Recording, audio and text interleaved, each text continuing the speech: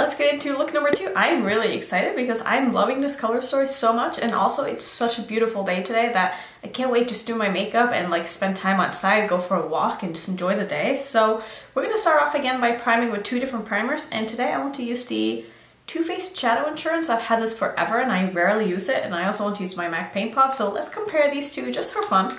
So I'm going to take my MAC Paint Pot on my bad eye this time and then we're going to use the Shadow Insurance on my good eye. So I definitely feel like there's a chance that my shadow insurance is old because it had a lot of like liquidy stuff coming out of it so I couldn't use the first like squirt. So I don't know if that just means I haven't used it in a while or if it's actually gone old but we're gonna try it anyway. So I actually have a plan today and I want to do a halo eye and like I said in yesterday's video I want to work with the dark green the brown and this green right here so I think that's what we're gonna do. I might pull in a little bit of this purple as well but to start off, I'm going to put... What was I gonna do? I think I'm gonna put this brown shade in my inner and outer corner and then I'm going to use the green in the crease. So I guess I'll start off with the crease color because I think this one is going to build pretty nicely on top of that from what I remember. So let's go in with this dark green now and put that in my crease. And this is Evergreen by Sydney Grace. So let's start off first on the Too Faced primer side. And I'm just packing this all the way from the inner corner to the outer corner. And this shadow is just not wanting to stick on this primer for some reason.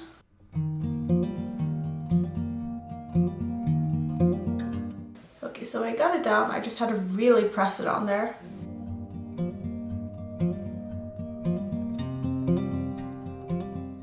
I'm not loving how my brush feels on my eye on top of this primer. I know that's a weird thing to say, but I feel like I've just realized I don't like the silicone slippery type primers that dry down because this one reminds me a bit of the Milani primer as well and I'm just, I don't know. Same with the two, or the Urban Decay one. I feel like all of those are sort of like, you know, the same thing and I don't know if I like them.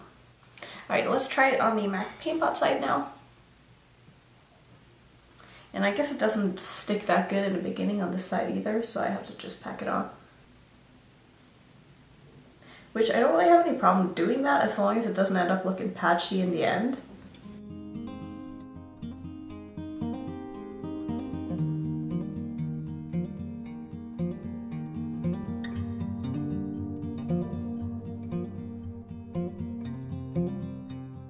So I think that looks pretty even on both sides and I want to say it applied pretty much the same way on both sides as well. And so keep in mind, this is the first time I've tried this shadow. I haven't tried any of the Sydney Grace like really dark mattes, I don't think. Could be wrong. I don't remember which ones I used in my first impression, but I don't think I used this shadow. But I really like how it looks once it's applied. But it's definitely a bit of a drier formula than the other ones that I've tried. But like I said, I don't have an issue with that as long as they look good after I'm able to put them on my eye. And I feel like this one looks pretty good. So next up, let's go in with the dark brown now. And I want to say this is by Sydney Grace as well. Actually, no, I think this is from Clionadh. Yeah, this is Hibernate by Clionadh. So I'm going to use this shadow now in my inner and outer part of my lid. And I'm not going to connect it in the middle because I just prefer not doing that with my eye shape. I just find it to be a bit more flattering. And I also remember really liking this shadow and I think this is actually like, if I were to pick out a brown for myself, like this would be the kind of brown that I feel like I would gravitate towards because I just really like the undertone of this. And I've said this before, but like I don't really mind brown eyeshadows as long as they are together with something colorful. I just don't like them on their own because I just find them to be really boring. And I just find that my eyes just pop more when I use a little bit of something that has color in it. Shadow is so pigmented. Does anyone else struggle to do halo eyes and like blend out this little part here in the inner part of the eye? I feel like mine always gets really streaky and it takes me forever to blend out. But like the outer part here kind of just blended itself. But I always struggle to blend out the inner part of my halo eyes.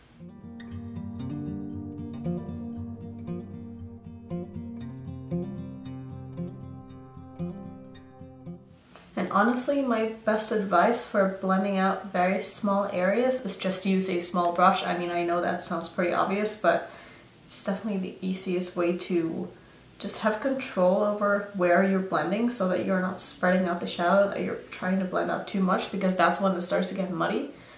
but if you can keep the shadow in one place and just blend right over the top, it usually turns out a lot better. So I think I also want to go in with a little bit of this uh, lighter green shade. I think this was Green Apple by Sydney Grace. No, by Looxi. So Green Apple by Looxi. And I'm going to take that to just slightly run right across of where that dark green is in my crease. I'm just slightly running that over here because I just want to bring in a little bit more of a lighter color.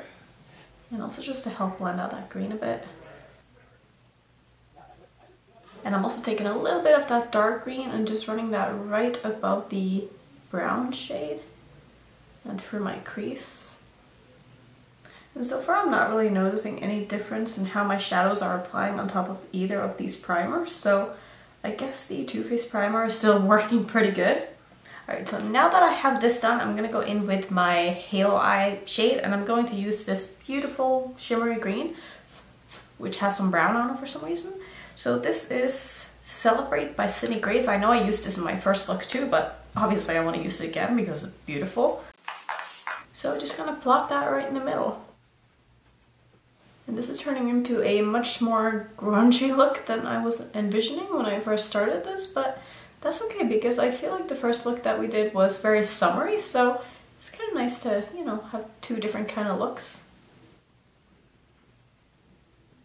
So I'm just fading this out everywhere.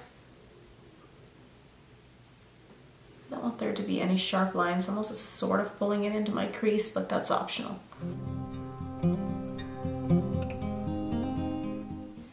I do really like how this is looking though, so I think for my lower lash line I was thinking I wanted to do the purple, but now I'm not so sure anymore.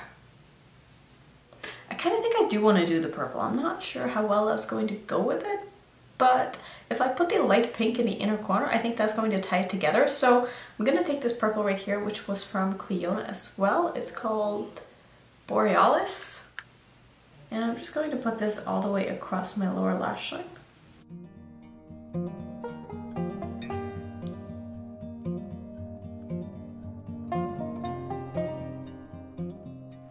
Okay, so for the inner corner, I was thinking I wanted to do this pink but then I saw the blue. And then I got confused. But I think I'm just going to do the pink.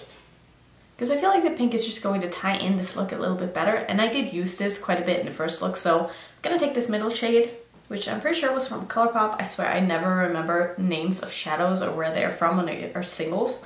And this is Prowlin, and I was right, it's from Colourpop. And we're just going to put that in the inner corner, also connecting it down to the lower lash line.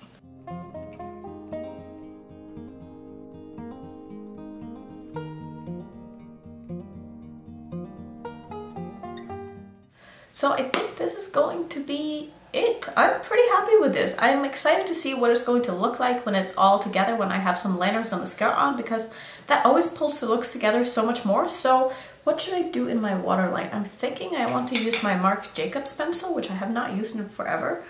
And this is in the shade Mist Me. And it's just a very kind of lilac-y shade, and I feel like it's going to go with my lower lash line. Okay, so let me put on some liner and mascara real quick and then we can figure out something to do with lips. I, I'm kind of stumped. I don't really know what to do with lips for this look, so I'm gonna think about it and I'll be right back. Okay, so the eyes are done and I think for lipstick I found one that I want to use and this is Queen Bee by Too Faced. So it's kind of like a mauve pink, purple, mauve pink something, purple. Is it a mauve?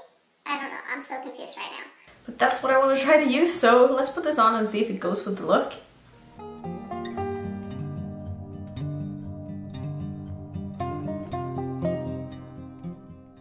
I think I like this lipstick with this look. I think that looks pretty good. So I guess that is going to sum up these two looks with this palette inspiration. Now, let me know what you want to see next because I do have a couple of ideas. You guys recommended me to do the Northern Lights and some also said like space themed and I like both of those. I think that could be really, really cool with like some blacks and like some really bright fun pops of colors. So let me know which one was your favorite. I think for me, I want to say the first look was my favorite because glitter. And I don't know I just really like that color combination so thank you so much for watching this as always. Don't forget to like the video and if you are not already subscribed to my channel I would love it if you did so and became part of my family and hopefully I will see you all in my next video. Bye